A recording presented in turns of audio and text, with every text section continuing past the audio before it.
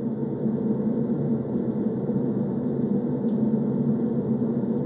cancelling. Ambient sound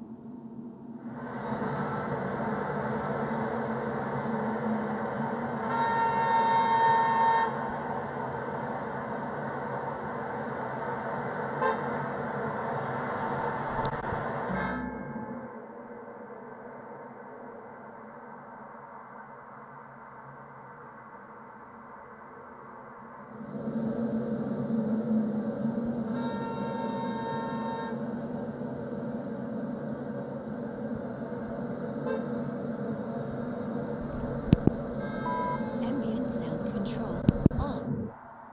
Noise cancelling.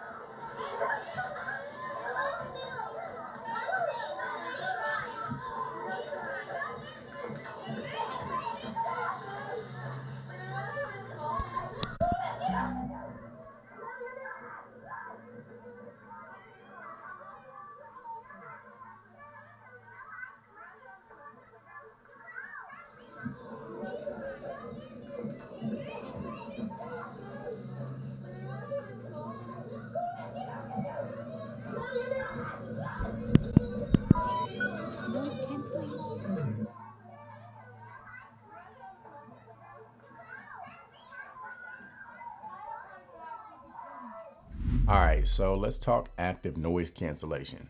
So as you guys saw, the XM4s definitely hold their own up against the XM5s.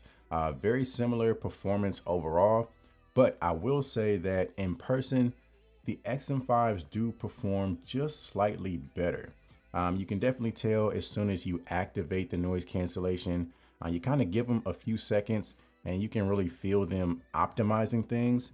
And then after that, it feels like there's just another small layer of noise cancellation that you don't get compared to the XM4s. But again, both of these are top tier as far as overall active noise canceling ability. So you can't really go wrong one way or the other. And I wouldn't say it's to the point that it justifies dropping the XM4s immediately to pick up the XM5s. And pretty much similar experience with the transparency mode. Um, pretty similar performance, but I will say that the XM5s do perform just slightly better. Um, not necessarily in terms of allowing more noise in as far as volume, but I will say the noise that it does allow in sounds just a little bit more natural and a little bit less processed compared to the XM4s. So very marginal differences here, uh, but overall I would give the advantage to the XM5. Now, a really small difference that you may or may not have picked up on is the fact that we no longer have the voice prompt uh, when going through the different noise canceling settings. So with the XM4s, when you switch between ambient mode, transparency mode, and off, um, you have that voice prompt that lets you know which mode you're switching into. Now with the XM5s, they've done away with that. Um, and now it's just a simple, you know, tone. Um, so you can tell which mode you're in based on, you know, what you're hearing. But I don't know, I kind of like having the voice prompt that you get with the XM4 so that there's absolutely no confusion. So very small detail, but it is something that I wanted to make sure I pointed out. So now let's talk about speak to chat. So with the XM4s, the lowest time interval that you can set for your music to automatically resume is 15 seconds. So if you're wearing the headphones, listening to your music, somebody comes up to you, starts talking, you respond, your music automatically pauses, ambient mode kicks on, and then once the conversation is over, you have to wait 15 seconds before your music to automatically resume. With the XM5s, they've lowered that to 5 seconds, so you don't have to wait nearly as long for your music to kick back on. So if you like using Speak to Chat, that is a nice upgrade. Otherwise, you could just do things manually uh, using your palm up against the right ear cup. So one of the big topics surrounding the XM5 since their release is the fact that they no longer collapse like the XM4s, which in terms of portability and you know travel, things like that, it is a nice feature. But over the past few days, just kind of using the headphones back and forth, using the actual carrying cases and kind of comparing the two, the case of the XM5 isn't necessarily that much bigger than the XM4. So when you really get down to it, I don't think it makes that much of a difference. If you're throwing one of these in a luggage versus the other, I think you're gonna be able to find room for either one without too much issue. Now let's talk about the comfort, which for both of these headphones is absolutely excellent. Um, they're both extremely lightweight, extremely comfortable. Uh, the ear cushions are very soft, very forgiving. So they're pretty much on the exact same playing field when it comes to comfort. You can't really give the advantage one way or the other. They're both excellent. Now, one thing that I did notice is that the ear cups and the ear cushions are a little bit larger on the XM4 compared to the XM5. And the overall ear cushion is a little bit thicker, um, a little bit plushier.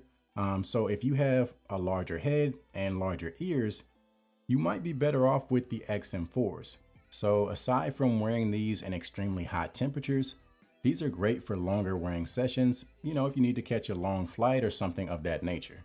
So as far as overall specs, there's not really much difference. You're getting the same level of battery life. Um, you're getting multi-point connection with both options. So you're able to connect to two devices at the same time and switch back and forth between the two.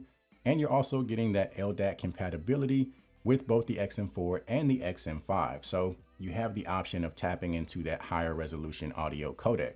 So as far as specs, not really much reason to upgrade to the XM5. So let's go ahead and jump into the sound quality. So with the XM5, they are using a smaller 30 millimeter driver compared to the 40 millimeter driver of the XM4. Even with that size difference, you're not really sacrificing much in terms of bass, uh, in terms of treble and clarity, or in terms of volume. Uh, in fact, the sound is pretty similar um, now I will say that it does sound a little bit more open with the XM5. Sounds like there's a little bit more space within the audio. Um, so it's a little bit more distance between you and the artist that you're listening to. So that may or may not make a difference to you, but with the Sony Headphones Connect app, having the different EQ presets and the customizable EQ, um, you can really tweak these to your personal preference either way. So as far as sound, again, I don't really think there's a huge difference between the two. So if there was one particular reason that you should upgrade from the XM4 to the XM5, it's most definitely the call quality. So if you have not seen my microphone comparison video where I compare the XM5s against the XM4 and the AirPods Max as far as microphone quality, you have to watch that video because the XM5s absolutely blow the XM4s and the AirPods Max out of the water when it comes to microphone performance.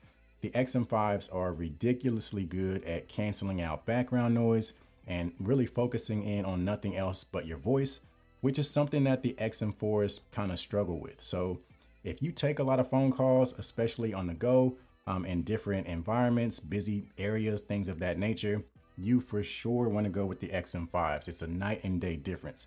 And that's really the one aspect that, like I said, if there's one reason that you need to upgrade, is because of that.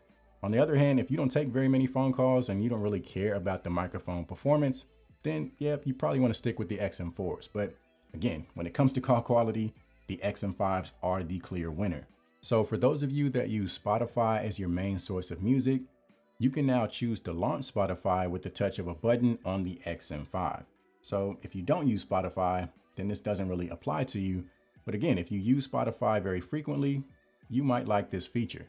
So aside from that, that's pretty much the breakdown of the XM4 versus the XM5 in my opinion. If there's one reason for you to upgrade, it's the call quality. Aside from that, I think the performance is very similar. So if you want to know how the XM5 stack up against the AirPods Max, make sure you check out this video.